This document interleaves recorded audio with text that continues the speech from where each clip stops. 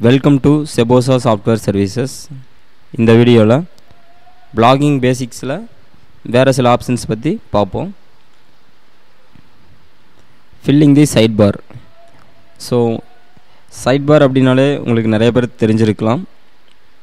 அதாவது இந்த மாதிரி ஒரு விண்டோ அப்படின்னா இந்த சைடில் நம்ம சில இன்ஃபர்மேஷன்ஸை நம்ம ஷேர் பண்ணுவோம்.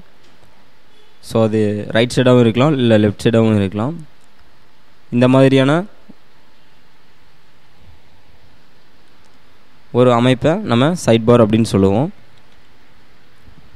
ஸோ அதில் எந்த மாதிரி இன்ஃபர்மேஷன்ஸ்லாம் இடம்பெற வைக்கலாம் அப்படிங்கிறத நான் உங்களுக்கு சொல்கிறேன் பொதுவாக பார்த்துட்டிங்கன்னா நம்ம பிளாகரில் centre of the blog blogger so அதாவது நடுவில் பார்த்துட்டிங்கன்னா நம்ம கண்டென்ட் தான் போஸ்ட் பண்ணுவோம். மேக்ஸிமம் எல்லோரும் அந்த மாதிரி பண்ணியிருப்பாங்க இல்லாட்டி ஏதோ ஒரு சைடு அதாவது ரைட் சைடு மேக்ஸிமம் பார்த்திங்கன்னா லெஃப்ட் சைடு தான் பண்ணுவாங்க. ஸோ இந்த நீங்கள் பார்க்குற ஸ்க்ரீன்லேயே இந்த ஃபில்லிங் தி சைட் பார் இருக்கு இல்லைங்களா? இந்த எஃப் இருக்கு இல்லைங்களா? இந்த சைடு வர மாதிரி பார்த்துக்குவாங்க இந்த எம்டி இருக்கு இல்லைங்களா இந்த பிளேஸ் இதில் பார்த்துட்டிங்கன்னா இந்த பிளாகரோட ஆத்தர் நேம் அவரோட டீட்டெயில்ஸ் சில அதர் இன்ஃபர்மேஷன்ஸ் அதாவது எவ்வளோ வீடியோஸ் நம்ம போட்டிருக்கோம் எவ்வளோ பிக்சர்ஸ் இதில் ஆட் பண்ணியிருக்கோம் எந்த மாதிரியான கண்டென்ட் போட்டிருக்கோம் அப்படிங்கிற ஒரு ஜென்ரல் கேட்டகரியான டைட்டில்ஸ் எல்லாம் நம்ம போடுற மாதிரி வரும். சிலதில் நம்ம அட்வர்டைஸ்மெண்ட் ரன் பண்ணுறதை பற்றி சொல்லியிருந்தேன்.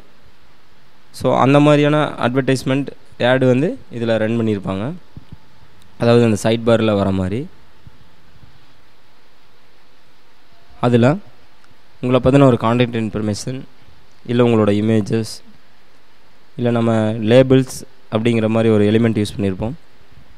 அது என்னென்னு வரக்கூடிய வீடியோவில் உங்களுக்கு தெளிவாக சொல்கிறேன் இந்த மாதிரி பல வகையான இன்ஃபர்மேஷனை நம்ம சைட் பாரில் யூஸ் பண்ண முடியும். இன்னொன்று சைட் பாரில் வந்து நம்ம இந்த மாதிரி இன்ஃபர்மேஷன்ஸ் கண்டிப்பாக போட்டு தான் ஆகணும் அப்படிங்கிறது இல்லை. இப்போ சில நிறையா அதாவது தினமும் ரொம்ப மெயினான வெப்சைட்ஸ்லாம் பார்த்திங்கன்னா தினமும் பல அப்டேட்ஸ் பண்ணிகிட்டே இருப்பாங்க.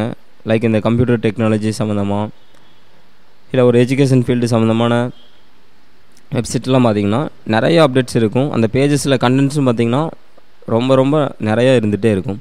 ஸோ அந்த மாதிரியான வெப்சைட்டுக்கெல்லாம் பார்த்திங்கன்னா சைடில் வந்து சைட் பார் வந்து சில இடத்துல ஃப்ரீயாக இருந்தாலும் அதுவும் ஒரு வந்து ஒரு அட்ராக்டிவாக தான் இருக்கும். எப்படின்னு கேட்டிங்கன்னா ஃபுல்லாக நிறையா கம்ப்ளீட்டாக பார்க்குற இடம் எல்லாமே ஒரு கண்டென்ட் மாதிரி இருந்தாலும் விசிட்டர்ஸ் வந்து பார்க்குறக்கு சிரமப்படுவாங்க. ஸோ சில இடத்துல ஃப்ரீயாக இருந்தால் அதுவும் அவங்களுக்கு சொல்லக்கூடிய விஷயம் ஈஸியாக கவர் ஆகிறதுக்கு சான்ஸ் இருக்குது அடுத்ததாக பார்த்திங்கன்னா போஸ்டிங் கண்டென்ட் இதுதான் ஒரு வெப்சைட்டுக்கு ஒரு உயிர்னு கூட சொல்லலாம். எந்த ஒரு வெப்சைட்னாலுமே அதில் கண்டென்ட் தான் மெயினாக இருக்கும். ஏன்னா நம்ம சொல்லக்கூடிய விஷயம் அதாவது நம்ம ஷேர் பண்ண விரும்புகிற இன்ஃபர்மேஷன்ஸ் பார்த்திங்கன்னா இந்த கண்டென்ட் மூலமாக தான் நம்ம சொல்ல முடியும். நம்ம டைட்டில்ஸ் இல்லை லிங்க்ஸ் அது எல்லாமே பார்த்திங்கன்னா ஒரு ஷார்ட்கட் வேன்னு சொல்லலாம். ஆனால் அதுக்குள்ளே மெயினாக விசிட்டர்ஸ் வராங்கன்னா இதை தேடி வருவாங்கன்னா நம்ம போஸ்ட் பண்ணுற கண்டென்ட் தேடி தான் வருவாங்க. ஸோ அந்த மாதிரியான நம்ம அவ்வளோ இம்பார்ட்டண்ட்டான இந்த கண்டென்ட் பார்த்துட்டிங்கன்னா எப்படி இருக்கணும் அப்படின்னா யூசர்ஸ்க்கு வந்து அதாவது நம்ம பிளாக் வர விசிட்டர்ஸ்க்கு வந்து ஈஸியாக அண்டர்ஸ்டாண்ட் பண்ணிக்கக்கூடிய வகையில் இருக்கணும். அதே சமயம் இன்னொரு வெப்சைட்டை மூலமாக இல்லை பல வெப்சைட் நம்ம பார்த்துருப்போம். அதுலேருந்து இன்ஃபர்மேஷன்ஸ் எடுக்கலாம்னு நான் சொல்லியிருந்தேன். பட் அதை அப்படியே நம்ம காப்பி பண்ணக்கூடாது. சில டிஃப்ரென்ஸு நம்ம அதில் காட்டி ஆகணும் ஏன்னா நம்ம ஓனாக போடுற மாதிரி அதில் பார்த்துக்கிட்டா ரொம்ப நல்லது. இல்லை ஓனாகவே நம்ம சில இன்ஃபர்மேஷன்ஸ் ஷேர் பண்ணாலும் அதுவும் சிறந்தது. இதில் கண்டென்ட் போஸ்ட் பண்ணுறதுக்கு கூகுள் பார்த்துட்டிங்கன்னா சில பாலிசிஸ் வச்சுருக்காங்க. அதாவது set of rules and regulation சொல்லுவாங்க. டெக்னிக்கலாக சொல்லணும் பவுண்டரிஸ் அப்படின்னு சொல்லுவாங்க. அதில் ஒரு சில இம்பார்ட்டண்ட்டானதை நான் உங்களுக்கு இப்போ காட்டுறேன்.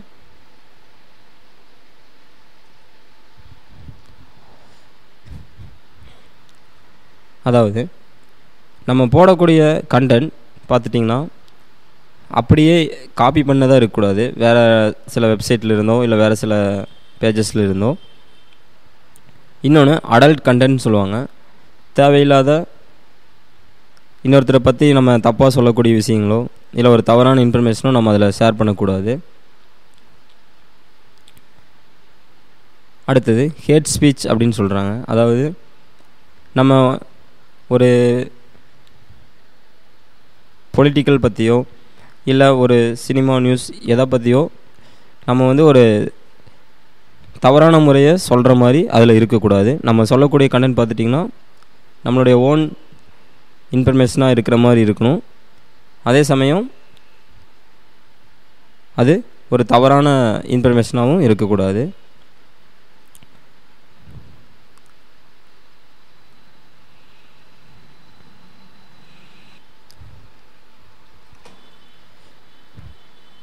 இந்த spam illegal activities impersonal others impersonating others இந்த மாதிரிலாம் சில ரூல்ஸ் கொடுத்துருக்காங்க. இதை நீங்கள் பிளாகர் ஓப்பன் பண்ணிலேயே உங்களுக்கு அதற்குரிய இன்ஃபர்மேஷன்ஸ்லாம் அந்த பேஜில் இருக்கும். நீங்கள் அப்போ தெரிஞ்சுக்கலாம். இந்த போஸ்டிங் கண்டென்ட்லேயே நீங்கள் பார்த்துட்டிங்கன்னா நம்ம போஸ்ட் பண்ணதை எடிட் பண்ணவும் முடியும். அதை ரீபோஸ்ட் பண்ண முடியும். நம்மளால் போஸ்டிங் பண்ண கண்டென்ட்டை டெலிட் பண்ணவும் முடியும். ஸோ அதனால் நம்ம எளிதாக நம்ம நினைக்கிற இன்ஃபர்மேஷனை ஷேர் பண்ணலாம். நம்ம நினைக்கிற வகையில் அதை சேஞ்சும் பண்ண முடியும். இதே நம்ம போஸ்டிங் கண்டென்ட் பார்த்துட்டிங்கன்னா உள்ளே நம்ம லிங்க் கொடுக்குற மாதிரி இருக்கும். அதாவது யூஆர்எல்னு சொல்லுவாங்க இல்லைங்களா? ஒரு ஒரு வார்த்தையை கிளிக் பண்ணால் அந்த வார்த்தை வந்து இன்னொரு வெப்சைட்டுக்கு போகும். ஸோ அந்த மாதிரியான இதை நம்ம லிங்க் அப்படிம்பாங்க. ஹெச்டிஎம்எல் கமாண்டில் ஹெச்ஆர்இஎஃப் அப்படின்னு சொல்லுவாங்க. அந்த மாதிரியும் பண்ணலாம். அடுத்ததாக பார்த்தீங்கன்னா interacting with comments so content எப்படி ஒரு பிளாகுக்கு முக்கியமோ அதே மாதிரி ஒரு கமெண்ட்ஸ் பார்த்துட்டிங்கன்னா